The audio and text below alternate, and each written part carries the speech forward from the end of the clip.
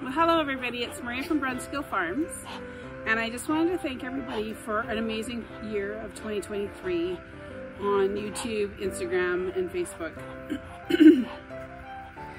it's been a journey and it's been fun and I've learned a lot and we're looking forward to 2024. As you all know, we moved from Enderby, British Columbia to Dawson Creek, British Columbia. We moved from a 4.9 acre plot to a 39 acre plot. I'm pretty excited. Lots of plans um, for the upcoming year.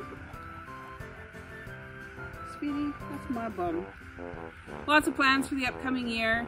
Uh, clearing some property, uh, adding some pasture, fencing. We have all of our babies being born uh, between March and April. Um, almost made the decision to breed Peanut Butter and Anya this year, but we'll see if they go into heat before the end of January. Um, we'll put them in with Diego. Peanut Butter is Zorro's half-sister, so they can't get bred together, but Diego will put him in with both.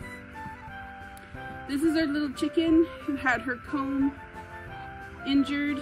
She's been in the caravan. Today's her first day out for a couple of She's still really lethargic and we're going to take really good care of her.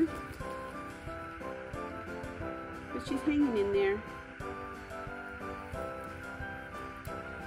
From our family to yours, thank you so much for your dedication and viewing on Brunskill Farms. We wish you all the best in 2024 and we look forward to sharing our adventures moving forward.